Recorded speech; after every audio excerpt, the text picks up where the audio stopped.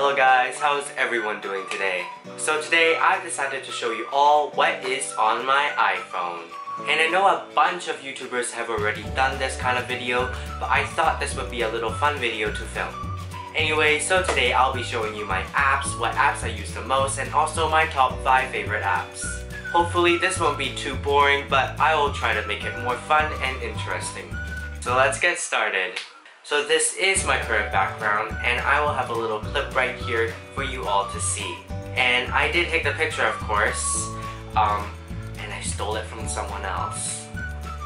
And as you can see, I do have all the Apple apps on one page and that's because I kinda like to be organized. On the second page of apps, I have all my social media apps in one folder, uh, my photography apps that I use for photo editing in one folder, uh, school slash office apps in one, and the last one, lifestyle apps in one. And that's basically like the Amazon app, the McDonald's app, and I said McDonald's, yeah I did, and I also have a news folder and that's where I keep all my news apps and I like to keep updated with what's happening around the world. But I guess that's what Twitter is for, right? And continuing on, of course I have my YouTube app right there and also other games that I have that I never play which I only keep it there for display purposes only. And as well on the last page of apps, of course I have more games that I rarely play with and now that I think of it, I should really, really delete some. So if you are actually wondering and curious about what are my apps that I use most, they are probably going to be Twitter, YouTube obviously, um, Instagram, and Snapchat. They are literally all social media apps. My life is full of social media. And that is not a good thing.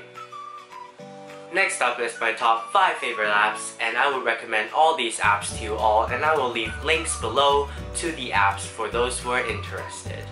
And I promise they are not social media apps. Yay! The first app that I fully recommend is Afterlight. It is a paid app and it's like $1.19 Canadian and I know that it costs money, but besides from it costing money, it is an awesome app to edit your photos, to share to your family or friends, or even like me posting it to Instagram or even Facebook. It's basically like a mobile Photoshop and it has a lot of cool features to make your photos brighten up. The second app that is my favorite and would recommend is Apps Gone Free. This app is really awesome, I use it all the time. It's basically an app where it tells you when an app that is usually paid is for free. So for example, every day there will be about 5 to 6 apps that will be listed that have been paid but now are for free. And you have the option of clicking on that app and if you like it, you can tap on get it on the App Store and it brings you to the App Store to purchase it or get it for free basically. The third app that I fully recommend is Calculator, and this isn't just any calculator that you would use. It is a calculator where you can write on. For example, if I have this very long, complicated math equation I have to solve, and I'm unable to do it with the normal calculator that is built in with the iPhone, then I can just use this. I'm able to write my own equation down, and therefore it will solve it and give me the answer. I use it all the time since I don't always carry around a big scientific calculator.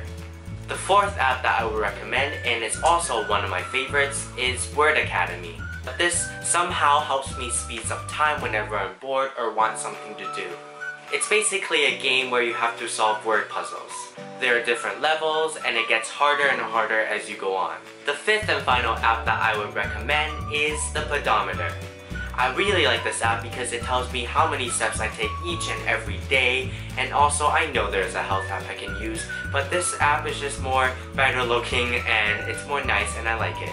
It also has a really cool feature where you can see how many steps you have taken through your notifications.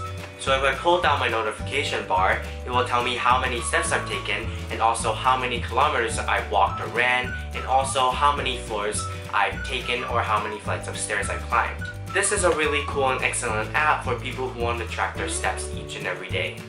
So I want you in the comments below to tell me any cool apps that you guys use. Alright everyone, that will be the end of this week's video. If you liked it, make sure to give a big thumbs up. And also if you want to check out the apps that I just listed, the links are in the description below. And also make sure to subscribe by clicking here. Click the two boxes below to watch my two previous videos. And also make sure to follow me on Twitter, I'll have all the links below. Thanks guys for watching and I'll see you next week with a brand new video.